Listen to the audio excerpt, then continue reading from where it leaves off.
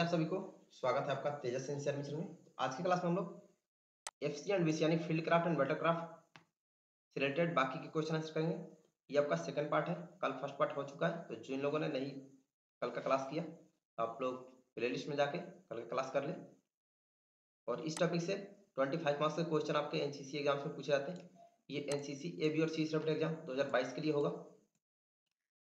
बाकी के सारे टॉपिक्स मैंने इससे पहले जो थे, सारे अपलोड कर दिए। आप लोग सारे क्लास कर लेंगे अच्छे से, क्योंकि सारे क्वेश्चन मोस्टली भी है। और all question answers are available in Hindi and English on website Tejas N C C dot com जिसका लिंक मैंने डिस्क्रिप्शन बॉक्स में भी दे रखा है, या फिर आप गूगल पे सर्च करेंगे Tejas N C C dot com यहाँ पे सारे topic wise model papers Hindi और इंग्लिश में अवेलेबल है। ए बी और सी पेपर और न्यू भर्ती सबका। Tejas N C C app plus P D F ये आपको दोनों में नवंबर का लास्ट या फिर दिसंबर स्टार्टिंग तक दोनों अवेलेबल करा दूँगा। जिसमें आपका पीडीएफ पेड कोर्स होगा, जिसमें आपका मेन प्रैक्टिस सेट पेपर होगा टॉपिक वाइज भी प्रैक्टिस होगा और मॉडल पेपर्स भी। नहीं तो मॉडल पेपर्स के प्रैक्टिस होंगे, पाँच सात मॉडल पेपर प्रैक्टिस सेट होगा।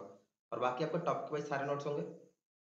ये मॉडल पेपर्स होगा और जितने भी क्वेश्चन अब तक पूछे गए सारे होंगे प्रीवियस ईयर के क्वेश्चन जो लोग चैनल को अब तक सब्सक्राइब नहीं किया चैनल को सब्सक्राइब करके बेल आइकन प्रेस कर दें। ताकि जब भी क्लास हो वीडियो अपलोड कर आपको नोटिफिकेशन मिलती रहे और रोज़ाना आपकी क्लास सात बज के पंद्रह मिनट पे ही होगी।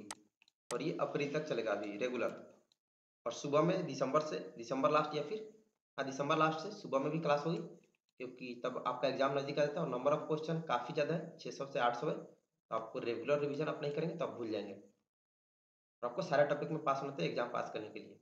सात पंद्रह में रोज़ाना क्लास होगी इवनिंग टाइम में अभी रेगुलर अब सात पंद्रह में समय से आएँगे। चलिए शुरू करते हैं क्वेश्चन आंसर फ़र्स्ट क्वेश्चन है पेट्रोलिंग क्या होता है? व्हाट इज़ पेट्रोल तो पेट्रोलिंग का सिंपल सा डिफिनेशन है। इसका आंसर होगा, पैदल चलकर अथवा किसी हल्के वाहन पर घूमते हुए किसी क्षेत्र की निगरानी करने को पेट्रोलिंग कहते हैं। मतलब या तो किसी गाड़ी पर या फिर पैदल किसी निश्चित एरिया में घूमते हुए उस एरिया की निगरानी करना ही पेट्रोलिंग कहलाता है। सेकंड क्वेश्चन पेट्रोलिंग का उद्देश्य क्या है? मतलब what is the motive of patrol patrolling का उद्देश्य, इसका आंसर होगा पेट्रोलिंग का उद्देश्य, शत्रु के विषय में जानकारी प्राप्त करना और शत्रु की पेट्रोलिंग से अपनी सैन्य इकाई का बचाव करना।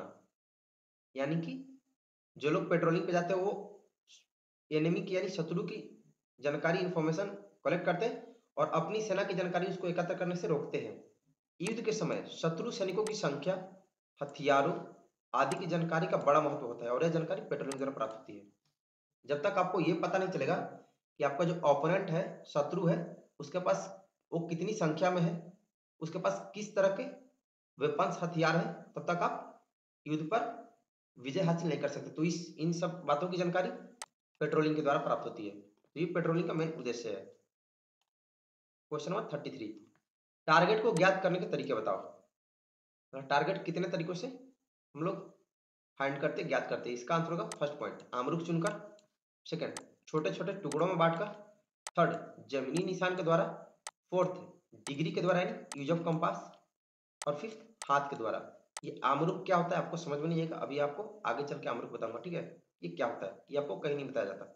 नहीं बुक्स में दिया है। Question number thirty four section formation पर असर डालने वाली बातें कौन कौन सी स्टार्टिंग में फ़र्स्ट पार्ट में आपको सेक्शन फॉर्मेशन बताया गया था कि छह प्रकार का होता है। सारे मैंने प्रकार बता दिए थे। सेक्शन फॉर्मेशन पर असर डालने वाली बातें कौन कौन सी है? तो उस पर कौन कौन सी बातें अफेक्ट डालती है? इसका आंसर होगा फ़र्स्ट पॉइंट ज़मीन यानी ग्राउंड सेकंड सेक्शन का काम यानी टास्क थर्ड सेक्शन कमांडर के कंट्रोल की ज़रूरत कमांड एंड कंट्रोल और फोर्थ कम समय में ज़्यादा से ज़्यादा फायर करने की ज़रूरत यानी क्विक फायर पावर ये सब सेक्शन फॉर्मेशन पर असर डालने वाली बातें हैं। Question number thirty five fire order कितने प्रकार का होता है? तो फायर ऑर्डर तीन प्रकार का होता है। फ़र्स्ट योजना आदेश, यानी प्लान ऑर्डर सेकंड फायर निर्देश आदेश, यानी fire direction order third fire नियंत्रण आदेश, यानी फायर कंट्रोल ऑर्डर ये फायर ऑर्डर तीन प्रकार का होता है। इसके तीन टाइप्स आप हिंदी इंग्लिश किसी में लिख सकते हैं। Next question number thirty six fire कितने प्रकार का होता है? इसके दो है। आप अपने पी से पूछ लेंगे। वो आपको जो बताएँगे, आप वही लिखेंगे, ठीक है? एक है, यह दो प्रकार का होता है स्वकेंद्रित फायर यानी कॉन्सेंट्रेटेड फायर और सेकंड वितरित फायर यानी डिस्ट्रीब्यूटेड फायर या आंसर होगा यह चार प्रकार का होता है grouping fire zeroing fire application fire और क्लासिफिकेशन वैसे आप यही लिखेंगे, ठीक है? मैक्सिमम जगह इसी पे आंसर आपको मिलता है मतलब दोनों ठीक है बट मैक्सिमम जगह ये दो टाइप सी आंसर सही होता है, ठीक है? कंसंट्रेटेड और डिस्ट्रीब्यूटेड यानी सेकेंडरी और वितरित फायर बट आप याद इसको भी रखेंगे। आपने एक बार, आप ये स्टाफ से पूछ लेंगे कि सर फायर कितने प्रकार का होता है? और उसके बाद आप आंसर लिखेंगे। Question number thirty seven order of fire control क्या है? फायर कंट्रोल ऑर्डर किस प्रकार से होता है? कैसे होता है? इसका आंसर होगा। इससे हम लोग ग्रिड के नाम से याद रखते हैं। ये इसका फॉर्मूला है ट्रिक है। G R I T grid से याद रखते हैं, जिसमें जी मतलब ग्रुप फायरिंग ग्रुप का नाम आर का मतलब रेंज होता है फायरिंग की रेंज और आई का मतलब इंडिकेशन ऑफ़ टारगेट यानी लक्ष्य का संकेत, और T type of firing firing का प्रकार। तो आपको आंसर में इतना लिखना होगा इससे हम लोग ग्रिड के नाम से याद रखते हैं, और इतना point G for group R for range I for indication of target और T for type of fire इतना आप आंसर लिखेंगे, ठीक है? Question number thirty eight fire control order कितने प्रकार का होता है? फायर कंट्रोल ऑर्डर चार प्रकार का होता है इसमें भी आपको मैंने मतलब दोनों सेम ही है, ये इंग्लिश वर्ड है, ये हिंदी फ़र्स्ट है मौके का सेकंड तैयारी का थर्ड सूक्ष्म फायर और फोर्थ पूरा फायर ये फायर ऑर्डर चार प्रकार का फायर कंट्रोल ऑर्डर जो फुल फायर ऑर्डर इंग्लिश में लिखे तो delayed fire order opportunity fire order और फ्री फायर ऑर्डर ये चार प्रकार का होता है fire control order question number thirty nine field signal से आप क्या समझते हैं? What do mean by field signal इसका आंसर होगा युद्ध के समय मैदान में प्राय विभिन्न संकेत बोल, संकेत बोलकर देने के स्थान पर बिना आवाज़ किए अथवा सांकेतिक पक्षियों की बोली में सीटी बजाकर किए जाते हैं। कहने का मतलब है फ़ील्ड सिग्नल का मतलब। फ़ील्ड मतलब यहाँ पे युद्ध स्थल से, ठीक है? तब युद्ध स्थल में अगर बोलकर इशारा करते हैं, किसी को आवाज़ लगा के तो फिर ओपोनेंट यानी आपका शत्रु को पता चल जाएगा। इसलिए वहाँ पे बोलने के स्थान पर बिना आवाज़ किए अथवा सांकेतिक पक्षियों की बोली में सीटी बजाकर किए जाते हैं। अधिकतर विभिन्न प्रकार से हाथ हिलाकर, राइफल दिखाकर किए जाते हैं। फ़ील्ड सिग्नल अधिकांशतः मैक्सिमम हाथ के इशारों से या फिर राइफल का उसमें अपना कोड, कोडवर्ड होता है। किस तरह से राइफल किया तो क्या इशारा होगा? तो उसके अनुसार राइफल और हाथ द्वारा। यह तीन प्रकार का होता है। हाथों द्वारा संकेत यानी विथ हैंड सेकंड शस्त्रों द्वारा संकेत यानी विथ वेपन्स और थर्ड सीटी द्वारा संकेत यानी विथ विसिल फिर से ना तीन प्रकार से। हाथों, हाथ द्वारा वेपन्स द्वारा और सीटी द्वारा। Question number forty platoon formation की संरचना बताएँ। तो प्लाटून फॉर्मेशन तीन प्रकार से होता है। One of formation two of formation और थ्री ऑफ़ ये भी क्वेश्चन पूछता है कि प्लाटून फॉर्मेशन कितने प्रकार का होता है, कौन कौन? तो आप लिखेंगे वन ऑफ़ फॉर्मेशन तीन प्रकार का टू ऑफ़ फॉर्मेशन और three of one of formation के बारे में ये जानते हैं। इस संरचना में प्लाटून का एक सेक्शन आगे और दो सेक्शन पीछे चलते हैं। यह फॉर्मेशन आगे बढ़ने के लिए उत्तम है मतलब मार्च करने के लिए। सेकंड है टू ऑफ़ फॉर्मेशन इस फॉर्मेशन में दो सेक्शन आगे और एक सेक्शन पीछे चलता है। यह फॉर्मेशन आक्रमण के लिए उत्तम है मतलब हमला करने के लिए। और इसमें दो सेक्शन आगे रहता है। थ्री ऑफ़ फॉर्मेशन इस संरचना में तीनों सेक्शन साथ साथ चलते हैं। यह संरचना बड़ा आक्रमण करने के लिए उत्तम है। इसकी गोलीबारी की क्षमता अधिक होती है। मतलब वन ऑफ़ फॉर्मेशन का सीधा मतलब है, एक सेक्शन आगे चलता है, बाकी दो सेक्शन पीछे। सेकंड टू ऑफ़ फॉर्मेशन में दो सेक्शन आगे, एक सेक्शन पीछे। और थ्री ऑफ़ फॉर्मेशन में तीनों सेक्शन साथ साथ चलते हैं और ये हमला करने के लिए, बड़ा आक्रमण करने के लिए सबसे उत्तम होता है, क्योंकि इसकी फायर की रेंज यानी गोलीबारी की क्षमता अधिक होती है, क्योंकि तीनों सेक्शन एक साथ फायर करता है। Question number forty one battle procedure से आप क्या समझते हैं? व्हाट मीन बैटल प्रोसीजर इसका आंसर होगा, युद्ध की तैयारी करने की विधि है। यह एक युद्ध की तैयारी करने की विधि है। इसके अंतर्गत एक सेना कमांडर रेकी करके योजना बनाता है, आदेश जारी करता है और युद्ध संबंधी कार्यों की सूची तैयार करता है। मतलब बैटल प्रोसीजर युद्ध की पूर्ण रूप से तैयारी करने की विधि है जिसके अंतर्गत एक सेना कमांडर रेकी करके प्लान बनाता है योजना बनाता है आदेश जारी करता है अपने प्लाटून को अपने जवानों को और युद्ध संबंधी कार्यों की सूची तैयार करता है। Question number forty two battle drill से आप क्या समझते हैं? What do mean by battle drill इसका आंसर होगा बैटल ड्रिल के अंतर्गत प्रत्येक सैनिक को सौंपे गए कार्य की प्रवृत्ति बताई जा, बताई जाती है। युद्ध के समय गतिशीलता बनाए रखने के लिए इसे चार ग्रुपों में बांटा गया है। R O F T group आप इसको याद रखेंगे। आर ओ एफ़ टी से, ठीक है? ये, आप कॉपी पे नोट कर लेंगे। बाकी मैं आपको सारा पीडीएफ में अच्छे से अवेलेबल कर दूँगा, ठीक है? आर ओ एफ़ टी इसमें आर का है रेकी ग्रुप यानी रेकी ग्रुप इसका कार्य है इस ग्रुप में प्लाटून कमांडर और एक रनर होता है। इनका कार्य स्थल की रेकी करना होता है मतलब ये रेकी करते हैं, जानकारी हासिल करते हैं। सेकंड ओ से ऑर्डर ग्रुप इस ग्रुप में तीन सेक्शन कमांडर और mortar commander, rocket launcher commander और रनर होते हैं। थर्ड होता है फाइटिंग ग्रुप। इस ग्रुप में प्लाटून मुख्यालय के शेष कर्मी और तीनों सेक्शन के जवान होते हैं।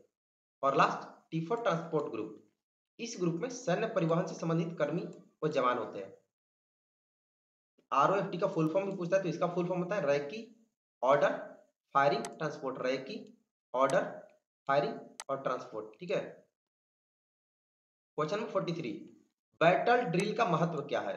What is the importance of battle drill इसका आंसर होगा फ़र्स्ट पॉइंट सूचना परिवहन, यानी इंफॉर्मेशन एप्रिसिएशन सेकंड गोलीबारी और चाल, यानी फायर एंड मूवमेंट थर्ड मौखिक आदेश, यानी वर्बल ऑर्डर्स ये बैटल ड्रिल का इंपॉर्टेंस है। क्वेश्चन नंबर फोर्टी फोर गोलीबारी और चाल के सिद्धांत यानी फायर एंड मूवमेंट के सिद्धांत बताने हैं।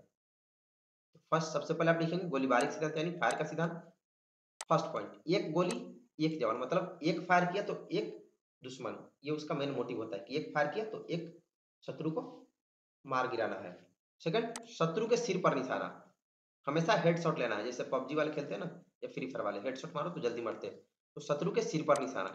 और थर्ड कवरिंग फायर और आक्रमण के बीच न्यूनतम अंतराल मतलब कम समय का अंतर होना चाहिए। कवरिंग फायर किसी को कवर दे रहे और शत्रु पे आक्रमण करने के बीच काफ़ी कम समय का अंतराल होना चाहिए। जैसे आप फ्री फायर और पबजी में भी आप देखते होंगे, जो लोग खेलते हैं काफ़ी लोग खेलते हैं, उसमें भी कोई बोलता है कि अरे मुझे कवर कवर फायर दो, कवर फायर दो, और फिर आपको उस पर भी हमला करना होता है एनिमी पे। नेक्स्ट है, चाल के सिद्धांत, यानी मूवमेंट के सिद्धांत। फ़र्स्ट संगठित समूह में चले। सेकंड उचित संरचना बनाकर चले। और थर्ड चलते समय एक बार में एक ही, एक पैर ही भूमि पर रखे। ताकि ज़्यादा आवाज़ ना हो और आप आसानी से चल सके। तो ये फायर एंड मूवमेंट के सिद्धांत है, गोलीबारी और चाल के सिद्धांत। Question number forty five section battle drill कितने भागों में बांटा जाता है? इसका आंसर होगा सेक्शन बैटल ड्रिल चार भागों में बांटा जाता है। फ़र्स्ट शत्रु द्वारा गोलीबारी किए जाने पर कार्रवाई करना। सेकंड आक्रमण करना। थर्ड शत्रु का पता लगाकर उसे बेअसर करना। और फोर्थ सेक्शन का पुनर्गठन। तो ये सेक्शन बैटल ड्रिल का चार पार्ट है। अच्छे से याद रखें ठीक है? इन सब का आंसर आपको कहीं नहीं मिलेगा, ना तो बुक्स में, ना कोई पढ़ाएगा। सब आर्मी वाले सर लोगों से पूछ पूछ के फिर आंसर कलेक्ट किए गए, क्योंकि सब क्वेश्चन पूछे गए एग्ज़ाम में। Next question forty six field defence से आप क्या समझते हैं? इसका आंसर होगा, इसका मुख्य उद्देश्य सैनिकों और शस्त्रों को इस प्रकार व्यवस्थित करना है कि शत्रु की गतिविधि और आक्रमण को कारगर तरीके से समाप्त अथवा नियंत्रित किया जा सके। ये फ़ील्ड डिफेंस का मतलब है। यह दो प्रकार का होता है। फ़र्स्ट, त्वरित रक्षण, यानी क्विक डिफेंस, और सेकंड, सुविचार रक्षण, यानी डेलीब्रेट डिफेंस। मतलब आप खुद की रक्षा कैसे करेंगे? तो इसका है, सैनिकों और सशस्त्रों को इस प्रकार से व्यवस्थित करें, इस प्रकार से रख के सजाए कि शत्रु की गतिविधि और आक्रमण को कारगर तरीके से समाप्त करके अपने आप को मतलब पूरी तरह से सेफ़ रखा जा सके। ये दो प्रकार का क्यूक डिफेंस और डेलीवरेट डिफेंस। नेक्स्ट है आमरूप किसे कहते हैं? स्टार्टिंग में आया था ना आमरूप कि टारगेट कितने प्रकार से हम लोग टारगेट को बयां करते हैं। एक आमरूप भी था तो आमरूप किसे करते हैं? इसका आंसर होगा, वह फर्जिया या काल्पनिक रेखा, जो दिए गए जिम्मेवारी के इलाके को लगभग दो बराबर भागों में बांटती है, उसे आमरूप कहते हैं। जिससे आपको टारगेट दिया गया, आपको यहाँ से, यहाँ तक टारगेट दिया गया। अब आमरूप का मतलब है कि जो आपका ये टारगेट है ना, या फिर कोई भी ये टारगेट है तो यहाँ से जो इसके बीचों बीच जो लाइन बनती है ना, जो इसको दो बराबर भागों में बांट रही है टारगेट को तो इसे ही आमरूप कहते हैं, ठीक है? वह फर्जिया काल्पनिक रेखा, जो दिए गई जिम्मेवारी को लगभग दो बराबर भागों में बांटती है, उसे अमरूप कहते हैं। क्वेश्चन नंबर फोर्टी एट अमरूप चुनने का तरीका बताओ। इसका आंसर होगा वैसी वस्तु को अमरूप चुना जाता है, जो दूर हो, मशहूर हो और चलने में मजबूर हो। मतलब आपको कोई सजीव वस्तु नहीं सिलेक्ट करना है। अमरूक अगर चुनने को बोला जाएगा तो आपको कोई निर्जीव वस्तु, बड़ा वस्तु लेना है। जैसे पोल हो जाएगा, बड़ा पेड़ हो जाएगा, ये सब, ठीक है? तो जो दूर हो, मशहूर हो और चलने में मजबूर हो, उसे अमरूक चुनते हैं। Question number forty nine patrolling के मुख्य तीन चरण कौन कौन होते हैं? पेट्रोलिंग के तीन मुख्य चरण कौन कौन होते हैं? इसका आंसर होगा फ़र्स्ट पॉइंट तैयारी यानी प्रिपरेशन सेकंड संचालन यानी कंडक्ट और थर्ड समीक्षा यानी डी ब्रीफिंग ये पेट्रोलिंग के मुख्य तीन चरण होते हैं। Question number fifty. Fire control order क्या है? What is fire control order इसका आंसर होगा, फायर की ताकत का सही इस्तेमाल करने के लिए फायर कंट्रोल ऑर्डर का इस्तेमाल ज़रूरी है। फायर कंट्रोल ऑर्डर और सही फायर ऑर्डर देने की जिम्मेवारी फायर यूनिट कमांडर की होती है। लेकिन इन ऑर्डर की सिखलाई सभी जवानों को देना चाहिए ताकि मतलब फायर कंट्रोल ऑर्डर की जानकारी सभी जवानों को, सभी सोल्जर्स को होनी चाहिए। क्यों होनी चाहिए? First point, fire unit commander की कैजुअलिटी होने पर कोई भी जवान उसकी जगह काम कर सके। मतलब अगर फायर यूनिट कमांडर घायल हो जाते तो कोई भी जवान उनकी जगह कंट्रोल कर सके। सेकेंड अगर ग्रुप कमांडर की कमी हो तो जवानों को ही यह ड्यूटी करनी पड़ती है। और थर्ड फायर कंट्रोल का फ़ायदा उठाने के लिए टारगेट का सही बयान और उनको पहचानने की सिखलाई निहायत ऊँचे दर्जे की होनी चाहिए। तो ये फायर कंट्रोल ऑर्डर में आप डिफिनेशन लिखें क्योंकि फाइव टू सेवन मार्क्स का आता है। तो केवल आपको इतना लिखने से फुल मार्क्स नहीं मिलेगा। तो आपको ये भी पॉइंट्स लिखने होंगे, ठीक है? Question number fifty one fire unit क्या होता है? व्हाट इज़ फायर यूनिट इसका आंसर होगा फायर यूनिट उस हथियारबंद टोली को कहते हैं, जो एक कमांडर के हुक्म से फायर करती है। आमतौर पर यह एक सेक्शन की टोली होती है। तो ये फायर यूनिट होता है। Question number fifty two fire unit commander कौन होता है? यह वह कमांडर होता है जो फायर यूनिट को फायर का हुक्म देता है। और उसके फायर पर कंट्रोल रखता है। अभी यहाँ पर देखा था फायर यूनिट क्या होता है? तो फायर यूनिट उस हथियारबंद टोली को कहते हैं, जो एक कमांडर के हुक्म से फायर करती है और आमतौर पर एक सेक्शन मतलब इसमें दस ही जवान होते हैं। Question number fifty three fire section order sorry fire direction order क्या होता है? इसका आंसर होगा, या वह ऑर्डर होता है जो फायर यूनिट कमांडर को अपने ऊपर वाले कमांडर से मिलती है। इन हुक्मों में यह बताया जाता है कि किस वक्त किन किन टारगेट पर किस हथियार से और कितने तादाद का फायर डाला जाए। सेक्शन कमांडर को फायर डायरेक्शन ऑर्डर अपने प्लाटून कमांडर से मिलता है। मतलब फायर डायरेक्शन ऑर्डर का मतलब है कि यह फायर यूनिट कमांडर के सीनियर कमांडर उन्हें ऑर्डर करते हैं और वो बताते हैं कि आपको किन किन टारगेट पर मतलब किस किस डायरेक्शन में किस किस टारगेट पर किस वेपन से, किस हथियार से और कितना फायर कितने मात्रा में फायर डालना है। तो ये होता है fire direction order next question number fifty four fire control order क्या होता है? यह वह हुक्म होता है जो एक फायर यूनिट कमांडर फायर डलवाने और उस पर काबू रखने के लिए फायर यूनिट को देता है। तो ये फायर कंट्रोल ऑर्डर होता है। Question number fifty five arc of fire क्या होता है? What do mean by arc of fire? इसका आंसर होगा, यह वह इलाका होता है जिसके अंदर टारगेट को बर्बाद करने की जिम्मेवारी एक यूनिट को दी जाती है। यह इलाका बाएँ और दाहिने हदों से ज़ाहिर किया जाता है। ये आर्क ऑफ़ फायर होता है। Question number fifty six fire control order के वसूल क्या होते हैं? इसका आंसर होगा फ़र्स्ट पॉइंट फायर हमेशा दुश्मन को मार डालने और उसको डराने के लिए किया जाए। सेकंड एम्यूनेशन की बचत का ख्याल रखना चाहिए। मतलब ये भी नहीं कि आप फालतू के बस फायर किए जा रहे हैं फायर किए जा रहे हैं तो एम्यूनेशन की बचत का ख्याल रखना चाहिए। थर्ड फायर डिसिप्लिन का खास ध्यान रखा जाए। ये फायर कंट्रोल ऑर्डर के वसूल है। Question number fifty seven fire control order कैसे देने चाहिए? मतलब किस प्रकार से? इसका आंसर होगा फ़र्स्ट पॉइंट हुक्म साफ़ धीरे और कम लफ्जों में देनी चाहिए। सेकंड आवाज़ इतनी हो कि आसानी से सुनाई दे मतलब सभी जवानों को सुनाई दे। थर्ड पॉइंट हुक्म हुक्म के तौर पर देनी चाहिए। और फोर्थ हुक्म ठहर ठहर के देनी चाहिए ताकि जवान उस पर ध्यान के साथ साथ अमल कर सके। ये नहीं कि आप इतना फास्ट बोले कि किसी को पूरा सुनाई ही ना दे। तो हुक्म ठहर ठहर के देनी चाहिए ताकि सभी जवान उस पर ध्यान के साथ साथ अमल कर सके मतलब ध्यान दे सके। Question number fifty eight battle procedure से आप क्या समझते हैं? इसकी ज़रूरी बातें कौन कौन सी है? इसका आंसर होगा। कमांडर की तमाम कार्रवाई और ट्रूप्स की डिप्लॉयमेंट कम से कम हुक्मों के ज़रिए और जल्दी करने को बैटल प्रोसीजर कहते हैं। यह वार्निंग ऑर्डर मिलने से फ़ार्मिंग अप प्लेस यानी एफईपी में डिप्लॉय होने तक की ड्रिल है। इसकी ज़रूरी बातें। फ़र्स्ट पॉइंट कमांडर को बड़ी खबर और ज़रूरी मदद जल्दी से मिल जाए, ताकि अगली कार्रवाई का फैसला कर सके। सेकेंड कमांडर को अपने जूनियर और सीनियर कमांडर के साथ मिलाए रखना चाहिए। और थर्ड छोटे कमांडर को ऊपर वाले कमांडर के नज़दीक रहना चाहिए। और हेडक्वार्टर और सब यूनिट को ऐसे ग्रुपों में बांटा जाए कि आदेश को जारी करने और डिप्लॉयमेंट की कार्रवाई बिना देरी के हो जाए मतलब जल्दी हो जाए। तो ये बैटल प्रोसीजर का मतलब है और इसकी ये तीन ज़रूरी बातें हैं। क्वेश्चन नंबर आर एफ़ से आप क्या समझते हैं? ओ आर एफ़ का फुल फॉर्म होता है ऑब्जेक्टिव रूट फायर प्लान अब जानते हैं कि ओ का मतलब और आर का मतलब क्या होता है? ओ का मतलब है ऑब्जेक्टिव यानी वह ज़रूरी ज़मीन जिस पर कब्जा करने की योजना बनाई जाती है, यानी टारगेट है। और आर है रूट ऑब्जेक्टिव तक पहुँचने के रास्ते जहाँ तक हो सके इसके आड़ यानी कवर होने चाहिए। और रुकावट कम होनी चाहिए। और एक मतलब फायर प्लान सपोर्टिंग हथियार इस प्रकार से लगाया जाए कि उनसे अटैकिंग ट्रूप्स को ज़्यादा से ज़्यादा नुकसान और ऑब्जेक्टिव तक फायर सपोर्ट मिल सके। ये वारएफ का मतलब है। नेक्स्ट है question number sixty main parts of field craft यानी फ़ील्ड क्राफ्ट के मुख्य भाग क्या है?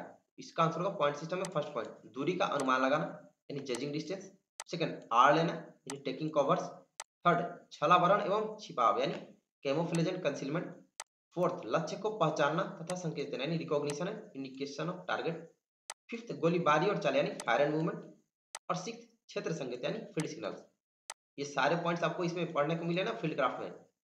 तो ये फ़ील्ड क्राफ्ट के मेन पार्ट्स है अगर आपको ये नहीं बताया जाता अभी तो आप जब ये क्वेश्चन पूछता main parts of field craft तो आप लिखने में आपको प्रॉब्लम होती बट अभी बता दिएगा।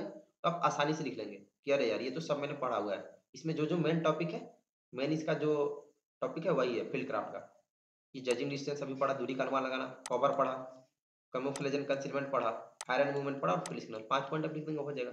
और ये रिकॉग्निशन है इंडिकेशन ऑफ़ टारगेट तो आप छः के छः याद रखेंगे। Next question number sixty one field of fire क्या होता है? इसका आंसर होगा फ़ील्ड ऑफ़ फायर उस इलाकों को कहते हैं जिस पर किसी भी दिशा में किसी भी हथियार का कारगर फायर डाला जा सके, उसे फ़ील्ड ऑफ़ फायर कहते हैं।